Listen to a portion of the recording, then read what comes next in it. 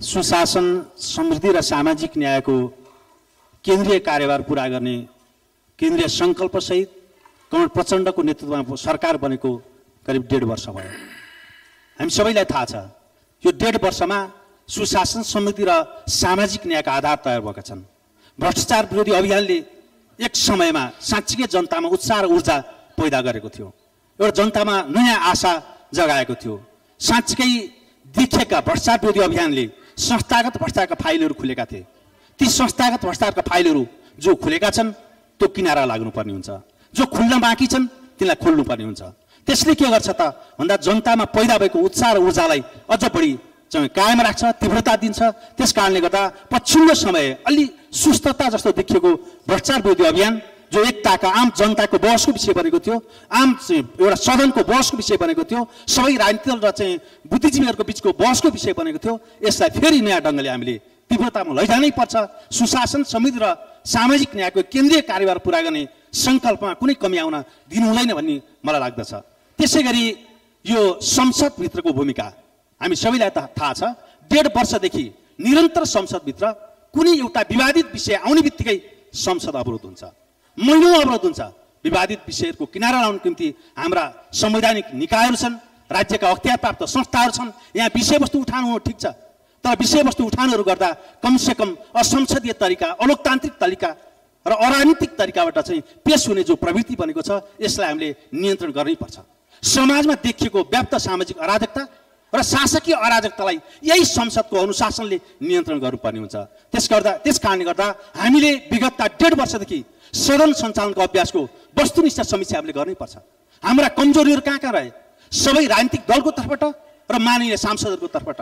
हाम्रा कमजोरीहरू जहाँ जहाँ रहे ती कमजोरीहरू सच्याउने कमजोरी पुनरावृत्ति नगर्ने प्रतिबद्धतासहित हामीले आगामी यात्रा तय गर्नुपर्छ र यही संसदमा हामीले साँच्चीकै यो संसद विधायकी थलो बहसको थलो नीति निर्माणको थलो यहीँबाट हामीले जनताको अपेक्षा र राष्ट्रिय अवस्था प्रतिनिधित्व गर्नुपर्छ यहीँबाट हामीले संविधानको रक्षा गर्नुपर्छ संविधानको सफल कार्य गर्नुपर्छ।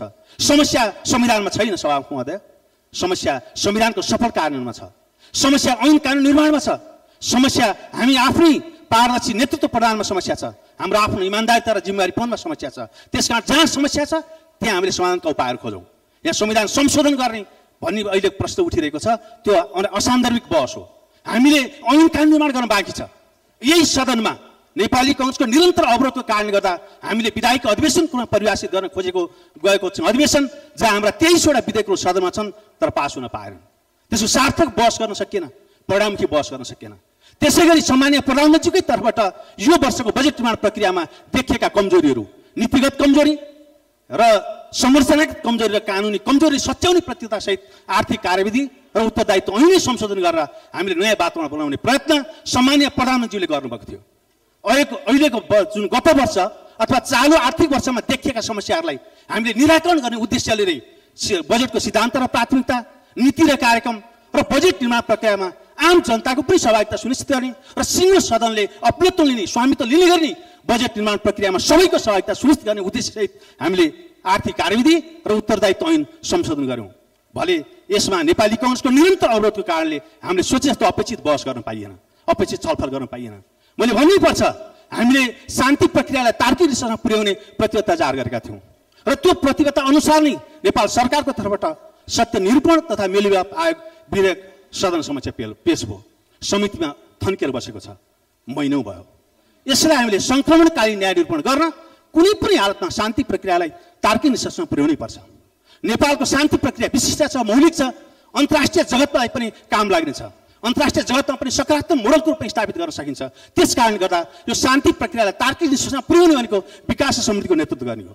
शान्ति प्रक्रियालाई तार्किक दिशामा पुर्याउने भनेको सुशासन समृद्धि र सामाजिक न्यायको केन्द्रीय कार्यहरू पुरा गर्ने हो। शान्ति प्रक्रियालाई तार्किक दिशामा पुर्याउने भनेको हामीले साँच्चीकै संविधानको रक्षा संविधानको सफल कार्यान्वयन र समाजवादको आधार पनि तयार गर्ने हो। त्यसकारण जनताको अपेक्षा र राष्ट्रको आवश्यकतालाई केन्द्रमा राखेर हामीले हाम्रा संसदीय भूमिका निर्वाह गर्नैपर्छ। संसदभित्र असंसदीय भूमिका जुन हामीले निर्वाह गर्दैछौँ यसलाई हामी नियन्त्रण गर्नैपर्छ। हामी सबैले जहाँ जहाँ कमजोरी गरेका छौँ त्यसलाई सच्याउनै पर्छ सभामुख महोदय। यसै गरी बजेट निर्माण प्रक्रियामा भले यो पटकको बजेट निर्माण प्रक्रियामा हामीले पर्याप्त छलफल गर्न पाइएन। पछिल्लो नीति कार्यक्रममा हामीले जति छलफल गर्नु पर्थ्यो परिमार्जन गर्नु पर्थ्यो र अलिक बढी परिष्कृत ढङ्गले चाहिँ नीति कार्यक्रमहरू पास गर्नु पर्थ्यो त्यो सकिएन। नेपाली कङ्ग्रेसकै अवरोधको कारणले गर्दा हामी सबैका चाहिँ मौलिक हकहरू पनि बिचमा नीति कार्यक्रममा हाम्रो सहभागिता पनि के भयो? बन्देज भयो। भले हामी यहाँ बजेट निर्माण प्रक्रियामा छलफलमा छौँ। बजेट यो पटकको बजेट सन्तुलित छ जीवन्त छ गतिशील छ यसले साँच्चीकै जनताको अपेक्षा राष्ट्रिय आवश्यकता प्रति गर्न सक्छ।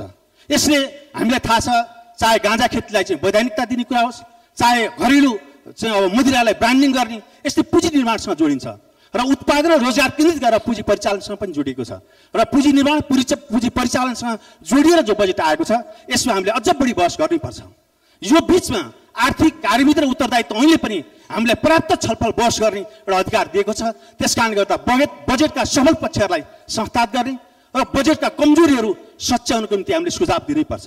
र हाम्रा बहसहरू अलिक ध्वंसात्मक भए हाम्रा बहसहरू अलि बढी अवरोधक अवरोधक टाइपका भए यसलाई कसरी सृजनात्मक बनाउने रचनात्मक बनाउने र कसरी हामीले विकास र समृद्धि चाहिँ हाम्रा बहसहरू जोड्ने कसरी समाजमा देखिएको व्याप्त सामाजिक अराजकता र शासकीय अराजकतालाई नियन्त्रण गर्ने अनुशासनको बलियो आधार यो सदनलाई बनाउने भन्ने विषयमा महत्त्वपूर्ण बहस र छलफल गर्न म यो सम्मानित सदनको ध्यान आकर्षण गराउँदै अन्तिममा मैले भन्नै पर्छ लामो समयदेखि विगत लामो धेरै वर्षदेखि निरन्तर निर्माणाधीन अवस्थामा रहेका रणनीतिक सडकहरू निर्वाचन क्षेत्र स्तरीय रणनीतिक सडक वैकल्पिक रोकमार्गहरू यो चालु आर्थिक चालु आर्थिक वर्षमा बजेट अभावकै कारणले ठप्प भएका छन् निर्माण कार्य ठप्प भएका छन्।